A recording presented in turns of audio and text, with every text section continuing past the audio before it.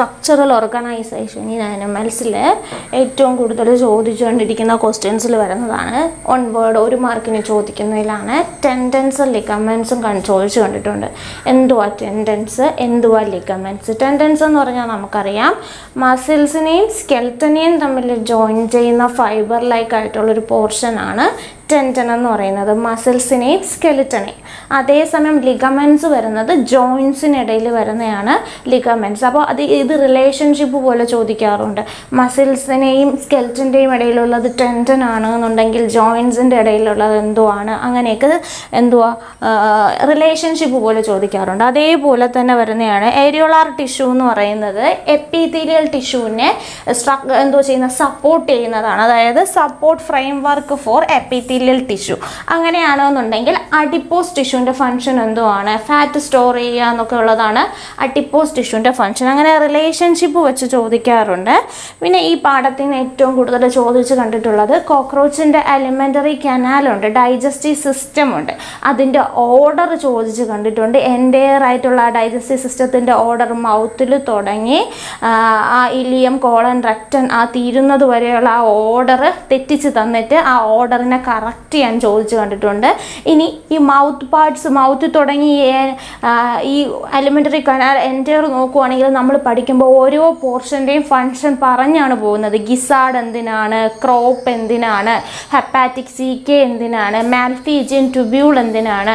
എന്നൊക്കെ പറഞ്ഞ് പറഞ്ഞാണ് ഫങ്ഷൻ പഠിച്ച് പഠിച്ചാണ് പോകുന്നത്. അപ്പോൾ ഇതിന്റെ ഫങ്ഷൻസ് എടുത്ത് ചോദിക്കാറുണ്ട്. ഇതുപോലെ റിലേഷൻഷിപ്പിൽ ചോദിക്കാറുണ്ട് എക്സ്ക്രീറ്ററി ഓർഗൻ ഓഫ് കോക്രോച്ച് എന്ന് പറയുന്നത് എന്തുവാണ്? മാൽഫീജിയൻ ട്യൂബ്യൂൾ അപ്പോൾ അങ്ങനെ ഫങ്ഷൻസ് ഇമ്പോർട്ടന്റ് ആണ്. അലമെന്ററി കനാലിന്റെ ആ ഓർഡർ ഒന്ന് കഴിഞ്ഞ് അടുത്ത് ഏതാണ് വരുന്നത്? ആ ഓർഡറും ഇമ്പോർട്ടന്റ് ആണ്. ആ ഓർഡർ തെറ്റിച്ച് തന്നിട്ട് അത് കറക്റ്റ് ചെയ്യാൻ ചോദിക്കും. അതേപോലെ തന്നെ ഇതിന്റെ ഓരോന്നിന്റെയും ഫങ്ഷൻ ഫങ്ഷൻ തന്നിട്ട് അത് ആ ഫങ്ഷൻ വരുന്ന പാർട്ട് ഏതാണ് എന്ന് ചോദിക്കാറുണ്ട്. ഫുഡ് സ്റ്റോർ ചെയ്യുന്നത് എവിടെയാണ്?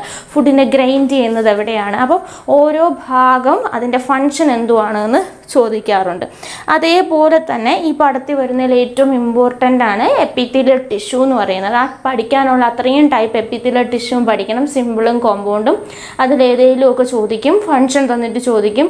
ആ എപ്പിത്തിലർ ടിഷ്യൂ എവിടെയാണ് കാണുന്നതെന്ന് ചോദിക്കും. നമ്മൾ ഓരോ എപ്പിത്തീലിയും പഠിക്കുമ്പോഴും അതെവിടെയാണ് കാണുന്നതെന്ന് പഠിക്കാറുണ്ട്. അപ്പോൾ അതെല്ലാം പഠിക്കണം. ഇനി ഏറ്റവും ഇമ്പോർട്ടന്റ് ഈ പിക്ചർ തന്നിട്ട് ചോദിക്കാം. അല്ലെങ്കിൽ ഫങ്ഷൻ തന്നിട്ട് ഏതാണെന്ന് ഐഡന്റിഫൈ ചെയ്ത് ചെയ്യാൻ ചോദിക്കാം. അതിൽ വരുന്നതാണ് മസിൽ ടിഷ്യൂ എന്ന് പറയുന്നത്. നമുക്കറിയാം നമുക്ക് മൂന്ന് ടൈപ്പ് മസിൽ ഫൈബേഴ്സ് പഠിക്കാനുണ്ട്.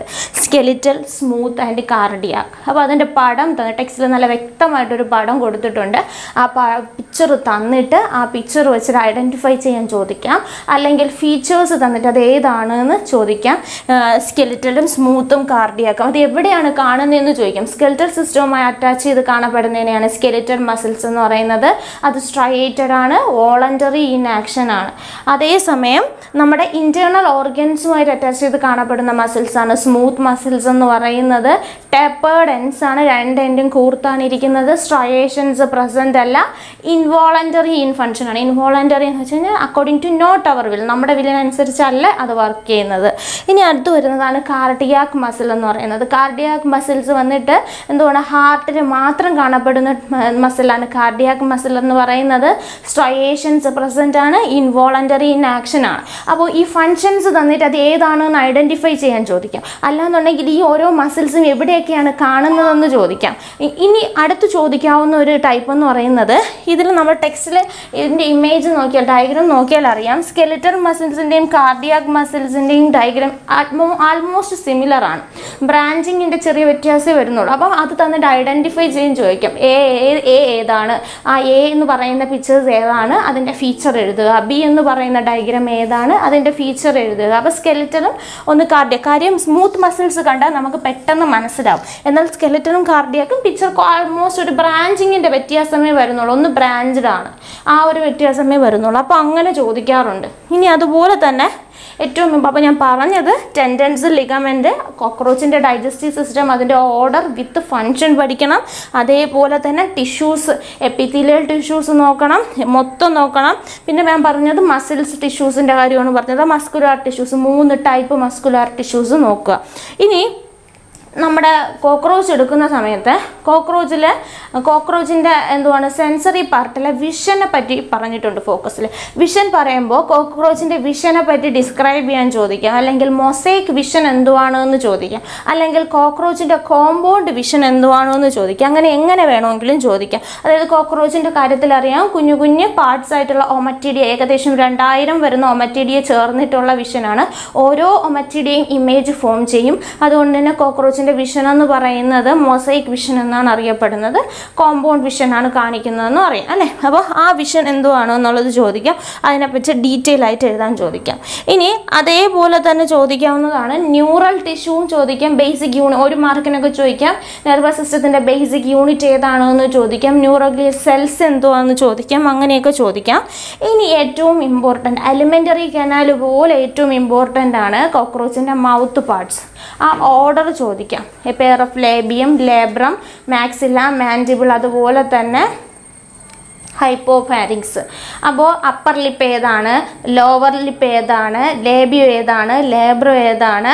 അതേപോലെ മാൻഡിബിൾ ഏതാണ്? ഫുഡ് ഗ്രൈൻഡ് ചെയ്യാൻ യൂസ് ചെയ്യുന്നത് ഏതാണ്? മൗത്ത് പോലെ ഇടയ്ക്കിടയ്ക്ക് ചോദിക്കാറുണ്ട്. കോക്രോച്ചിന്റെ കോക്രോച്ചിൽ മൗത്തിൽ മൗത്തല്ല ടങ്ക് മാതിരി ഇരിക്കുന്ന മൗത്ത് പാർട്ട് ഏതാണ്? ടങ്ക് ലൈക്ക് അല്ലെങ്കിൽ ടങ്ക് പോലത്തെ മൗത്ത് പാർട്സ് ഏതാണെന്ന് ചോദിച്ചു കണ്ടിട്ടുണ്ട്. അത് വന്നിട്ട് ഹൈപ്പോഫാരിങ്സ് ആണ്. അപ്പോൾ ഒരു മാർക്കിനൊക്കെ കോക്രോച്ചിന്റെ അപ്പോൾ ആ മൗത്ത് പാർട്സിന്റെ പടം വെച്ച് എന്നെ പഠിക്കുക.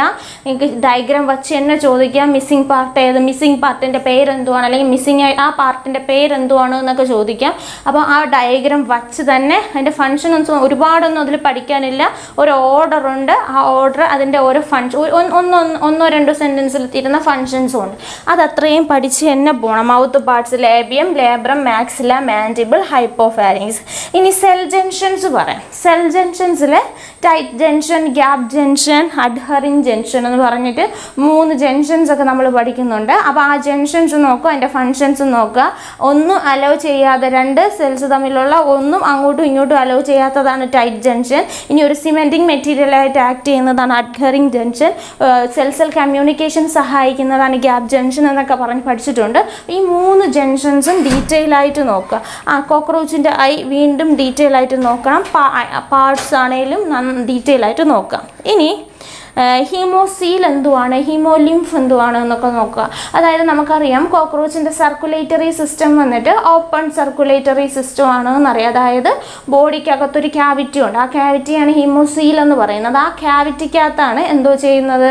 ഓർഗൻസ് എല്ലാം ബാക്ക് ചെയ്ത് കിടക്കുന്നത്. അപ്പോൾ അത് നോക്കുക. ഹീമോലിംഫ് ഹീമോസീൽ എന്തുവാണ്? ഇനി ഒരു ക്വസ്റ്റ്യൻ ചോദിക്കാറുണ്ട്. അതായത് if the head of cockroach is cut off കോക്രോച്ചിന്റെ head മുറിച്ചു മാറ്റിയാലും it will still life for as long as one week ഒരാഴ്ച വരെയൊക്കെ അത് ജീവിക്കും. അപ്പോൾ ഇങ്ങനൊരു സ്റ്റേറ്റ്മെന്റ് തന്നിട്ട് അത് ഇവാലുവേറ്റ് ചെയ്യാൻ അതിനെ എന്തോ ചെയ്യാൻ ഇവാലുവേറ്റ് ചെയ്ത് ഈ സ്റ്റേറ്റ്മെന്റിനെ ഇവാലുവേറ്റ് ചെയ്ത് എഴുതാൻ പറയാറുണ്ട്. അപ്പോൾ എഴുതാനുള്ളത് എന്താണ് അതിന്റെ ഉത്തരം എന്ന് പറഞ്ഞു കഴിഞ്ഞാൽ ക്വസ്റ്റ്യൻ ഇതാണ് കോക്രോച്ചിന്റെ ഹെഡ് റീജിയൻ പോയാലും അതിന് കുറച്ച് കാലം കുറച്ച് ദിവസങ്ങൾ കൂടി ജീവിക്കാനുള്ള കഴിവുണ്ട്. അതെന്തുകൊണ്ടാണ് എന്നൊക്കെയുള്ള ക്വസ്റ്റ്യൻ വന്നു കഴിഞ്ഞാൽ അതിനർത്ഥം കോക്രോച്ച് റെസ്പയർ ചെയ്യുന്നത് എവിടെയാണ് എന്ന് ചിന്തിക്കുക. ഹെഡ് റീജിയൻ വഴിയാണോ കോക്രോച്ച് റെസ്പയർ ചെയ്യുന്നത് എന്ന് ചിന്തിക്കുക. അല്ല കോക്രോച്ചിന്റെ റെസ്പിറേഷൻ കൺട്രോൾ ചെയ്യുന്നത് അല്ലെങ്കിൽ കോക്രോച്ചിന്റെ റെസ്പിറേഷൻ സാധ്യമാവുന്നത് കോക്രോച്ചിന്റെ സൈഡിലുള്ള ഓപ്പണിംഗ് വഴിയാണ്. അതായത് സെഗ്മെന്റ്സിന്റെ സൈഡിൽ വരുന്ന ഓപ്പണിംഗ് വഴിയാണ് കോക്രോച്ച് റെസ്പയർ ചെയ്യുന്നത്. അങ്ങനെ കോക്രോച്ച് റെസ്പെയർ ചെയ്യുന്നത് കൊണ്ട് തന്നെ കോക്രോച്ചിന്റെ ഹെഡ് റീജിയൻ ഇളകി മാറിയാലും മുറിച്ചു മാറ്റിയാലും ഒരാഴ്ച വരെയൊക്കെ കോക്രോച്ചിന്റെ ശരീരത്തിൽ ആ ജീവൻ കാണും. കാരണം അതിന്റെ റെസ്പിറേഷൻ സാധ്യമാവുന്നത് ഹെഡ് എന്ന് പറയുന്ന റീജിയൻ വഴിയല്ല. അതിന്റെ സെഗ്മെൻസിന്റെ സൈഡിലുള്ള ഓപ്പണിംഗ് വഴിയാണ് കോക്രോച്ച് എന്തോ ചെയ്യുന്നത്? റെസ്പെയർ ചെയ്യുന്നത്. അതുകൊണ്ടാണ് അങ്ങനെ ഒരു ക്വസ്റ്റ്യൻ ചോദിച്ചിട്ട് കണ്ടിട്ടുണ്ട്. കോക്രോച്ചിന്റെ ഹെഡ് റീജിയൻ മാറ്റിയാലും ഒരാഴ്ച വരെ കോക്രോച്ചിന് ജീവൻ കാണും. ആ സ്റ്റേറ്റ്മെന്റ് ഇവാലുവേറ്റ് ചെയ്യുക. അപ്പോൾ എഴുതേണ്ടതെന്ന് പറയുന്നത് കോക്രോച്ചിന്റെ റെസ്പിറേറ്ററി സിസ്റ്റം നമ്മൾ പഠിക്കുന്നതാണ്. അപ്പോൾ ആ റെസ്പിറേറ്ററി സിസ്റ്റം പറയണം. അതായത് റെസ്പിറേറ്ററി സിസ്റ്റം എന്ന് പറഞ്ഞു കഴിഞ്ഞാൽ കോക്രോച്ചിന്റെ റെസ്പിറേറ്ററി സിസ്റ്റം ഇരിക്കുന്നതെന്ന് പറയുന്നത് സെഗ്മെൻസിന്റെ സൈഡിലെ ഓപ്പണിംഗ് ആണ്. അതുകൊണ്ട് തന്നെ റെസ്പിറേഷൻ അതുവഴിയാണ് സാധ്യമാകുന്നത്. അപ്പോൾ ഹെഡ് റീജിയൻ മാറിപ്പോയാലും റെസ്പിയർ ചെയ്യാനുള്ള കഴിവ് അവിടെ നഷ്ടപ്പെടുന്നില്ല. അതുകൊണ്ടാണ് എന്നുള്ള കാര്യം എഴുതുക. പിന്നെ ഡീറ്റെയിൽ ആയിട്ട് എഴുതാനുള്ളത് പഠിക്കാനുള്ളത് മൊസൈക്ക് വിഷൻ പഠിക്കണം. ടിഷ്യൂസ് മസ്കുലാർ ടിഷ്യൂസ് മൂന്ന് മസിൽസും വേർതിരിച്ചറിയാൻ പഠിക്കണം. മൂന്ന് മസിൽസിന്റെ പടം അറിഞ്ഞിരിക്കണം. അതുപോലെ മൂന്ന് മസിൽസിനും ഒരേപോലത്തെ കുറച്ച് ഫീച്ചേഴ്സ് പറയുന്നുണ്ട്. അതായത് സ്കെലിറ്റൽ മസിൽസ് എവിടെ കാണുന്നു? സ്കെലിറ്റൽ സിസ്റ്റത്തിൽ കാണുന്നു. സ്ട്രയേഷൻസ് ഉണ്ട്. അതേപോലെ തന്നെ വോളണ്ടറി ഇൻ ആക്ഷൻ നമ്മുടെ ഇച്ഛയ്ക്കനുസരിച്ച് കൈകാലുകൾ അനക്കാൻ കഴിയും അല്ലേ അപ്പോൾ അതുകൊണ്ട് തന്നെ വോളണ്ടറി ഇൻ ആക്ഷൻ ആണ്. സെക്കൻഡ് മസിൽ സ്മൂത്ത് മസിൽസ് ആണ്. സ്ട്രയേഷൻസ് പ്രസന്റ് അല്ല. ഇനി ആൻഡ് എൻഡും ടേപ്പറിംഗ് ആയിട്ടുള്ള എൻഡ് ആണ്. ഇനി നമ്മുടെ ഇന്റേർണൽ ഓർഗൻസിന്റെയും വാൾസിലൊക്കെയാണ് കാണപ്പെടുന്നത്.